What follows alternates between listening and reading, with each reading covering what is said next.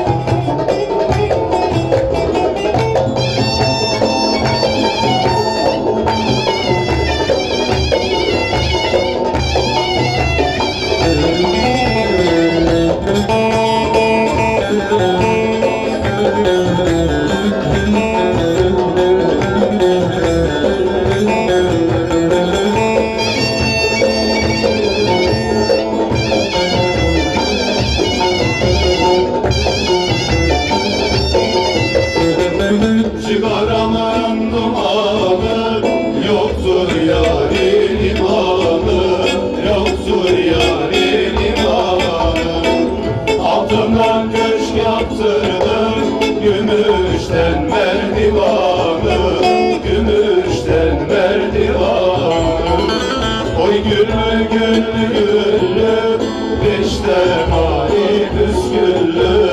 Beşte mali püsküllü. Hanım etme bu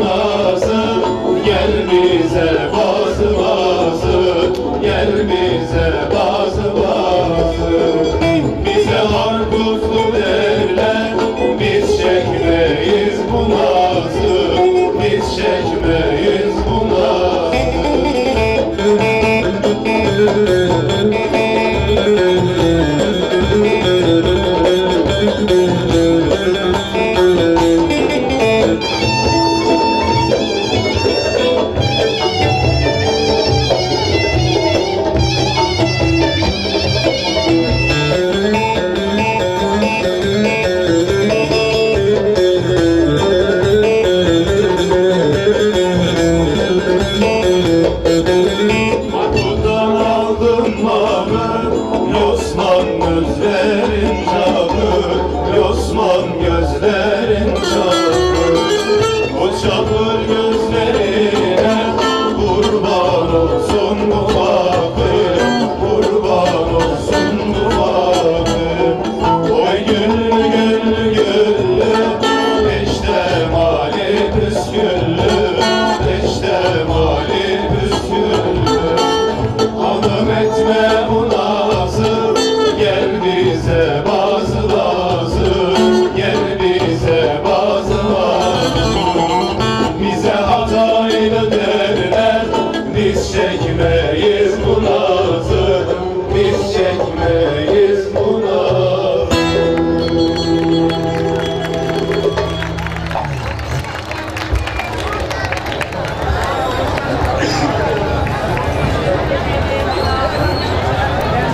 Etkinliğin sonunda konuşan Başkan Kimyeci bu tür organizasyonların şehir genelinde devam edeceğini belirterek şu ifadelere yer verdi.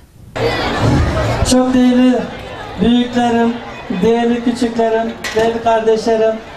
Tabi sizlerle beraber bu mutlu günde Ramazanımızın hoşu içerisinde bütün millet olarak, İslam alemi olarak idrak ettiğimiz bu süreçte teravih namazını müteakip kıymetli sanatçılarımız, Türkiye'mize mal olmuş sanatçılarımızla beraber bugün sıra gecesinde hep beraberiz. Ve sizlerin şahsında kıymetli üstadlara en kalbi teşekkürlerimi sunuyorum. Çünkü sizler gibi değerli hemşehrilerime en güzel bir sunum yapıyorlar. Kıymetli büyüklerim, değerli kardeşlerim, bizler Antakya Belediyesi olarak bütün ekibimizle, meclis üyelerimizle, muavinlerimizle, müdürlerimizle en üstten en alt birime kadar bütün çalışan arkadaşlarımızla bir aile olarak kendimizi görüyoruz. Ve Antakya'mızda doğasını bizlerden esirgemeyen siz büyüklerime, kardeşlerime teknik belediyecilik konusunda, sosyal belediyecilik konusunda her alanda ilkleri yaşatmanın heyecanı içerisinde bir gayret içindeyiz.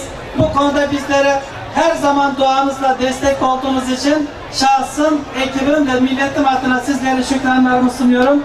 Hayırlı Ramazanlar diliyorum. Saygılar sunuyorum. Antakya Belediyesi olarak sadece Ramazan ayı boyunca değil, bundan sonra önümüzde Hatay'ımızın kurtuluşu var.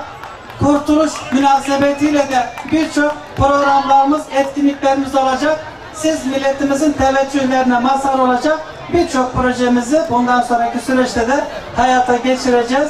Tekrarın en kalbi duygularla sizleri Allah'a emanet ediyorum. Hepiniz hoş geldiniz, sefalar getirdiniz.